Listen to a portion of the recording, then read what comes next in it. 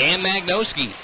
Now here we go. Clouthier going to go at it with Justin Sawyer as they get into center ice. Clouthier and Sawyer feeling each other out. Two big boys here, 6'3 and 6'5 respectively. Clouthier leading with the left hand, trying to grab, trying to get a uh, feel for him.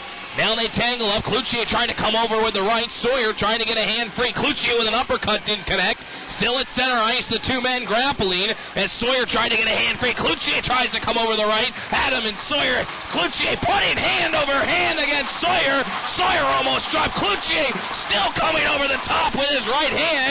One in on Sawyer. Clouthier doing a nice job here on Sawyer. Here at the center ice of the State Farm Arena. Clouthier got a left hand free and put a hit on Sawyer. Still tied up, can't get a hand free. Clouthier coming back over the top as the two men grapple. Now moving towards the official circle.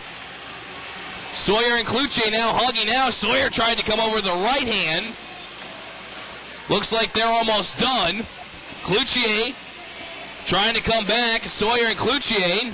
Now they'll settle it off. 16:44 to play here in the first period. Not a bad grapple. It's been a while since we've had one here at the Hive.